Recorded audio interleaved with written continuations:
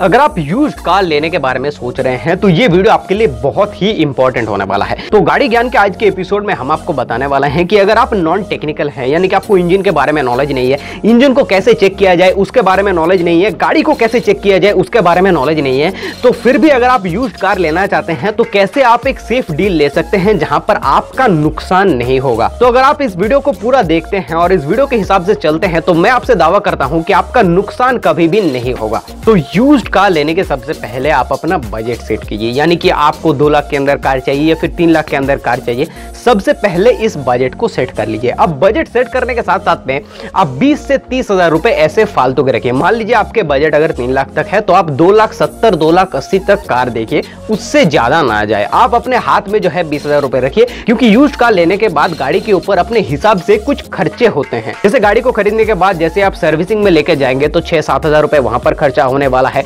साथ साथ में अगर आप टायर वगैरह चेंज करते हैं तो वहाँ पर खर्च आने वाला है। इस वजह से 20 से तीस हज़ार रुपए आप अलग बचा करके रखिए। अब दूसरा चीज़ आपको यह ध्यान में रखना है कि अगर आपका बजट लिमिटेड है, यानी कि तीन लाख से कम है तो ट्रू वैल्यू वगैरह में जहाँ पर सर्टिफाइड कार मिलता है, वहाँ पर मत जाइए। क्योंकि वहाँ पर जो कार की प्राइस होते हैं, वो तीस से चालीस, पचास तक जो है, वो ज़्यादा रखे जाते हैं। तो आपका पहला चॉइस ये होगा कि आप कहीं पर भी, मान लीजिए ओएलएक्स पर किसी ओनर के पास से गाड़ी लेने के प्रयास कीजिए। अब तीसरा जो चीज़ आपको ध्यान में रखना है कि जैसे आप गाड़ी सिलेक्ट कर लेते हैं कि ये गाड़ी को मुझे देखने के लिए जाना है। तो सबसे पहला दिन तो आप खुद चले जाइए वहाँ पर गाड़ी को देखने के लिए। अगर आप गाड़ी चलाना जानते हैं तो पहले दिन में जाकर आप गाड़ी को टेस्ट ड्राइव लीजिए। साथ साथ में कुछ चीज़ें आपको चेक करनी होगी। क्या होगी वो मैं आपको बताता हूँ। पहला चीज़ चेक कीजिए गाड़ी के पेपर्स। जी हाँ कितना ओनर है गाड़ी का? फ़र्स्ट ओनर है या फिर सेकंड ओनर है, वो चेक करके देखिए। अगर फ़र्स्ट ओनर है तो गाड़ी का प्राइस उस हिसाब से दीजिए। अगर सेकंड ओनर है तो आप समझ कर रखिएगा कि आप थर्ड ओनर बनने जा रहे हैं। अब आप जब गाड़ी को रिसेल करेंगे तो वहाँ पर जो लेगा आपसे गाड़ी, वो फोर्थ ओनर बन जाएगा। इस स्थिति में जो है, आप गाड़ी का प्राइस जो है, वो निगोशिएट कर सकते हैं। तीसरा चीज़ आपको ध्यान में रखना है कि गाड़ी का टैक्स कितना दिन वैलिड है, ये बहुत ही इंपॉर्टेंट पॉइंट है, क्योंकि टैक्स बहुत बड़ा अमाउंट होता है। जैसे कि मान लीजिए तीस से पैंतीस रुपए कोई कोई गाड़ी का टैक्स लगता है किसी किसी गाड़ी का पच्चीस टैक्स लगता है तो इस वजह से जो वो अमाउंट बन जाता है, वो बड़ा बन जाता है। अगर टैक्स फेल होने वाला है अगले एक साल में या फिर दो साल में, तब आप ले सकते हैं, लेकिन अगर टैक्स फेल होने वाला है अगले दो महीने में, तीन महीने में तो उस स्थिति में जो है, गाड़ी का प्राइस आप कम कर सकते हैं। आपको देखना है कि गाड़ी का इंश्योरेंस प्रॉपर हुआ है या फिर नहीं। ये चीज़ देखना बहुत इंपॉर्टेंट है क्योंकि बहुत सारी गाड़ियों का जो है इंश्योरेंस फेल रहता है। अब जिस पीरियड में इंश्योरेंस फेल रहता है, उस पीरियड में हो सकता है कि गाड़ी का एक्सीडेंट हुआ हो, उन्होंने बाहर से ठीक करवा ली हो, इस तरह का जो चीज़ें हैं, वो रहते हैं। इस वजह से गाड़ी का जो इंश्योरेंस है, वो प्रॉपर चेक कर लीजिए। गाड़ी के पेपर में चौथा चीज़ चेक कीजिए कि गाड़ी का जो भी सर्विस रिकॉर्ड है, वो अवेलेबल है कि नहीं। हो सकता है कि ओनर जो है, वो बाहर से सर्विस करवाता हो।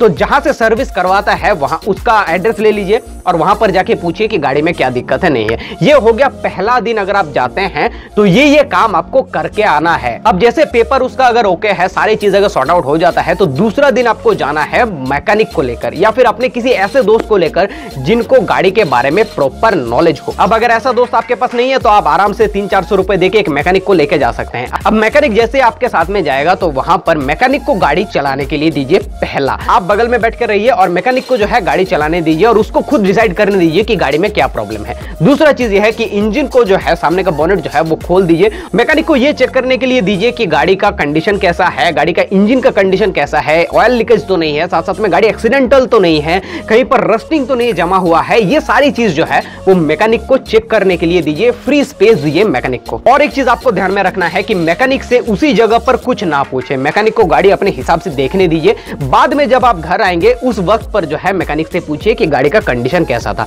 मान लीजिए उसी जगह पर अगर आप पूछते हैं तो हो सकता है कि मैकेनिक आपको कह दे कि नहीं भाई, गाड़ी ठीक नहीं है। तो ओनर आपसे बोले कि नहीं, उसको मैं ठीक करा के दूँगा, ये दूँगा, वो दूँगा।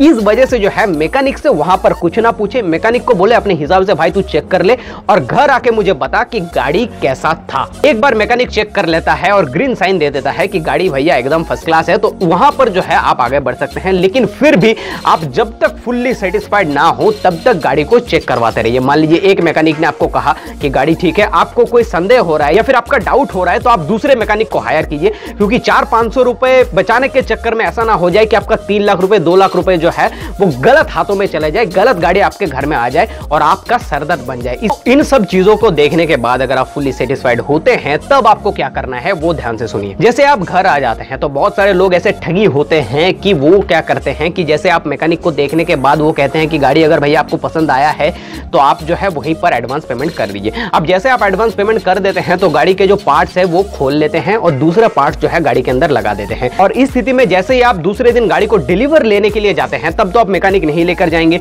तो उस स्थिति में वो क्या करता है कि गाड़ी आपको चिपका देता है। अब जैसे आप गाड़ी को घर लेके आएँगे दो तीन महीना चलाने के बाद जैसे गाड़ी दिक्कत देगा, अगर आप ओनर को बताते हैं तो वो तो कहेगा कि आप सर तो मैकेनिक लेकर आए थे।